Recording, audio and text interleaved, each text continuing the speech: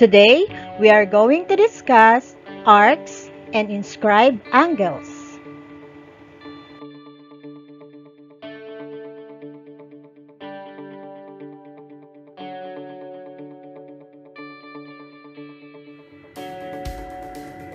Balikan natin ang central angle. Angle BAC, angle BAD, and angle CAD.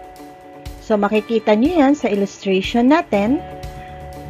An angle whose sides are two radii and whose vertex is the center of the circle.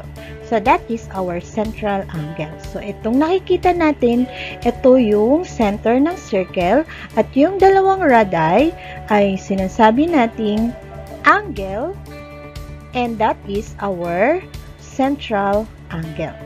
So again, angle BAC, angle BAD, and angle CAD, those are central angle. Now, ano naman yung isa? May tinatawag tayong inscribed angle. So, nakikita nyo sa illustration, yung angle DCE, that is an example of an inscribed angle. Ano ba ang ibig sabihin ng inscribed angle? An angle whose sides are two chords and the vertex is point on the circle. So again, there are two chords. So the chords are chord CD and chord CE. And then, the vertex is at point C. So therefore, this is an example of an inscribed angle. So angle DCE is an inscribed angle.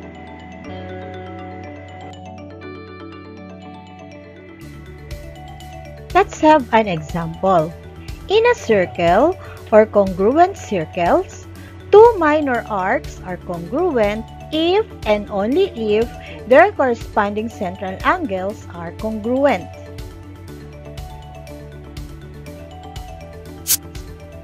So, let us look at the illustration.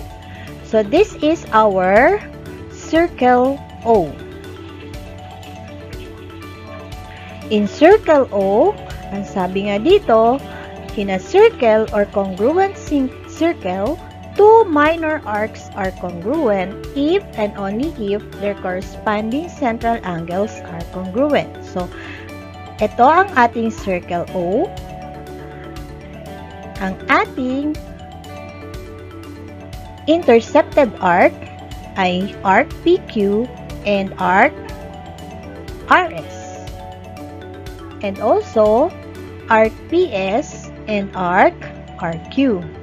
So, ang sabi nga doon, if two minor arcs are congruent, their corresponding central angles are also congruent.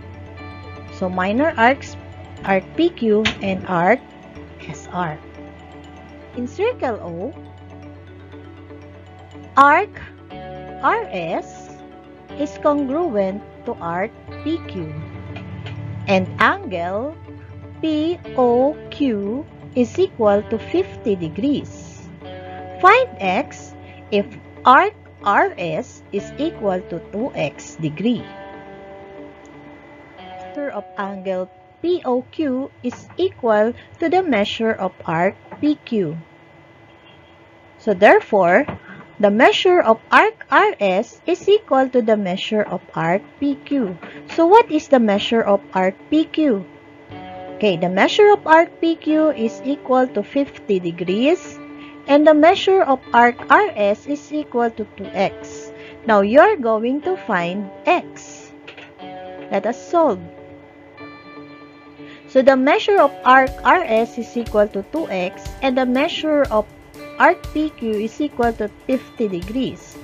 So, let us solve by dividing both sides by 2. So, 2x divided by 2 is equal to x and 50 divided by 2 is equal to 25. Therefore, our x is 25. Now, when we check, 2 times 25 is equal to 50 degrees. In a circle or congruent circles, two minor arcs are congruent if and only if their corresponding chords are congruent. Chord OB is congruent to chord ON. Find the measure of, of arc OB and the measure of arc ON in circle I. So the measure of arc BN is equal to 80 degrees and so we are going to find the measure of arc OB and arc ON. Take note, the two corresponding chords are congruent if and only if the corresponding arcs are also congruent. So the measure of arc OB plus the measure of arc ON plus the measure of arc BN is equal to 360 degrees. So the reason for that, the sum of all non-overlapping arcs of a circle is 360 degrees. Now, since arc OB is equal to x degree and arc ON is equal to x degree, and arc BN is equal to 80 degrees. Is equal to 360 degrees. So the reason is since chord OB is congruent to chord ON and the measure of arc OB is congruent to the measure of arc ON. x plus x is equal to 2x plus 80 is equal to 360 degrees are going to combine like terms. So, 360 degrees equal to 280 degrees. 280 degrees divided by 2 is equal to 140 degrees. So, therefore, the measure of arc OB is equal to 140 degrees and also the measure of arc ON is equal to 140 degrees. Why? Because it is said that if two minor arcs are congruent if and only if their corresponding chords are congruent. Concept number 6. The measure of an inscribed angle equals one-half the measure of the intercepted arc. Ibig sabihin, ang measure ng inscribed angle ay kalahati ng measure ng intercepted arc. So, Let's have some example. In circle B, the measure of arc ET is equal to 120 degrees. And the measure of angle TEN is equal to 40 degrees. Now, we are going to find the measure of arc TN and the measure of arc NE. Paano ba natin hanapin ang measure ng arc TN? Balikan natin ang sabi, ang measure ng inscribed angle ay equal sa kalahati ng measure ng intercepted arc. So, ang ating inscribed angle ay angle TEN. So, ano ba ang measure ng angle TEN? So, ang measure ng angle TEN ay equal sa 40 degrees is equal to the measure of arc TN divided by 2. So, kalahati. Then, let us solve. So, cross multiply. So, 2 times 40 is equal to the measure of arc TN. So, what is 40 times 2? So, 40 times 2 is equal to 80 degrees. So, therefore, our uh, RTN is equal to 80 degrees. Ngayon naman, hanapin naman natin ang measure ng arc NE. Para mahanap ang measure ng arc NE, kukunin natin yung kabuuan ng circle. So, ang sukat ng kabuuan ng circle ay equal sa 360 degrees. So, ibig sabihin, yung measure ng arc NE plus the measure of arc ET and the measure of arc TN is equal to 360. Now, palitan natin ang values. So, hinahanap natin ang measure ng arc NE. Ang measure ng arc TN ay equal sa 80 degrees. Ayon yan sa nasolve na natin. And then, ang measure ng arc ET ay equal sa 120 degrees. Ito yon 120 degrees. So, pag pinagsama natin yung 80 at saka 120 degrees, tayo ay mabibigyan ng uh, ah, 200 degrees. Or, pwede ring yung 360, ibabawas natin yung 80 degrees at saka 120 degrees. The measure of arc NE is equal to 160 degrees. Bakit? 360 degrees minus 80 minus 120 degrees is equal to 160 degrees. So therefore, the measure of arc NE is equal to 160 degrees. Concept number 7. The measures of two or more inscribed angles intercepting the same arc of a circle are equal.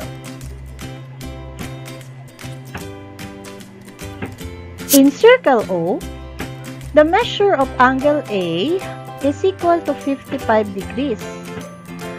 Hanapin natin ang measure ng angle S at ang measure ng arc ME.